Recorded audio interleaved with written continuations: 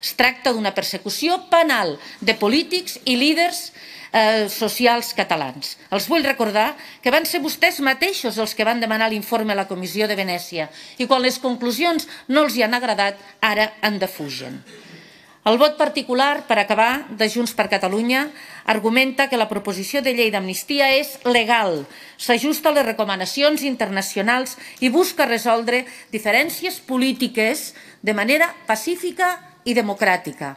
Els demano que tornin al bon fer de la política i als fonaments de l'estat de dret i democràtic que tots anhelem. Nosaltres també l'anhelem per Catalunya.